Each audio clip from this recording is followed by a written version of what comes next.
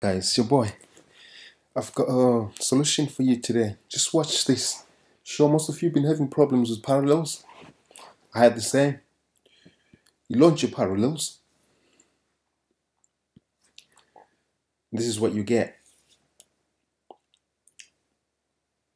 It's telling you network problems. Yeah? Don't worry about this guys. It's an easy fix for this. Just click OK. You come here says you got no internet. How are you going to use your Windows with no internet?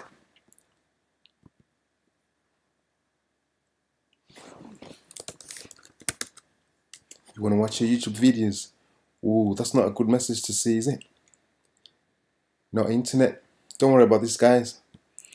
All you got to do is just quit Parallels.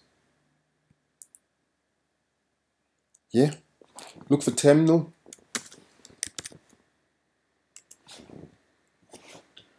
So there's a file missing in this uh, terminal, guys. This is what's causing your network problems. I've got a file here. That file here, it's going to be in the description box. Just copy that. Just come into terminal, paste it, enter your password.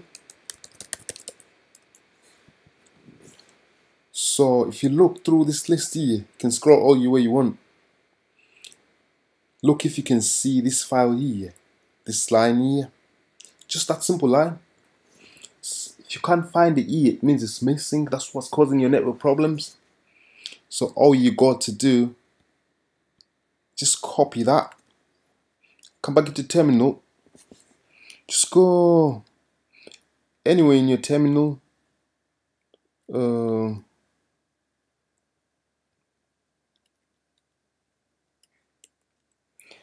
just paste it Control X just to save this file.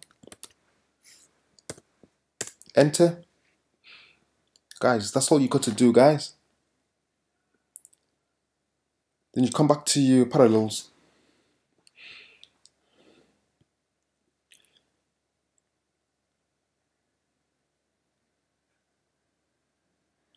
That message is gone now by the internet. See what happens, just see. You've got your internet back, guys. Let's just test it.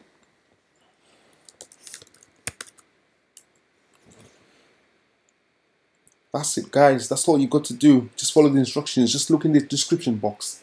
I've got those two files. Thank you for watching guys.